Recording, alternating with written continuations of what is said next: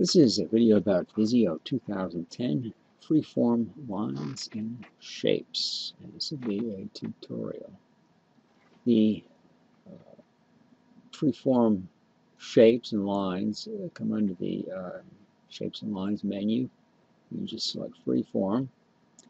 And uh, the line is just um, hold down the uh, mouse button and you can draw the line and you can see uh, this comes up with a number of points along the line and these points can be dragged by just uh, going, clicking on them and dragging them off to one part. In addition, uh, points can be added by holding down the control key and that not only adds uh, points but it also puts some uh, control handles in place where that's done to hold down the uh, control shift keys and zoom in on this a bit. And here you can see uh, where this point was added and dragging the control handles and here's the actual point itself. So this gives us uh, ability to do some manipulation with the line. And then the other points uh, can be selected, this or this one, and those points can be deleted. So it's possible to uh, change uh, this uh, line once it's been put in. As well as freeform lines, uh, we have also the possibility of doing a uh, freeform shape and that can be uh, a question of just taking a free-form line and bringing it back to the beginning. And that becomes a solid shape. You can see how this is filled in. It's also possible to uh, start out with uh, straight lines and just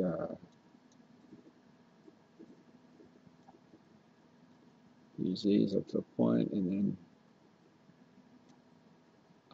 change over to a free-form line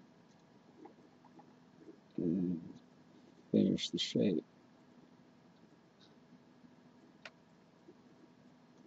Like that.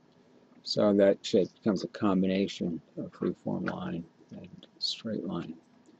Now once these uh, shapes are formed, they can be filled in uh, a different way.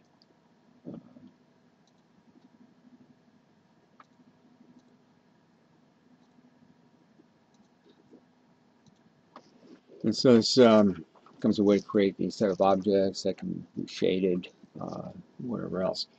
So one um, useful thing for um, using the freeform line is uh, when you have a drawing object and you're trying to uh, indicate that the uh, object is longer than what it's shown as on the drawing, so you're trying to do a break in it, and uh, that can be done by just uh, going across the object like that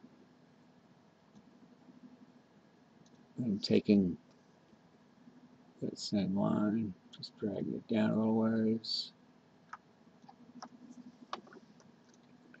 And then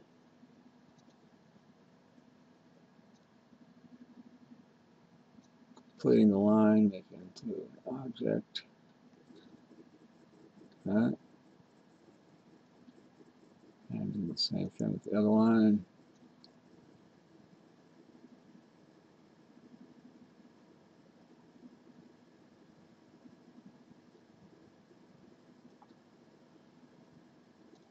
Then highlighting the original object, going down the control key, selecting the other two, and then going here to the shape operations and subtract.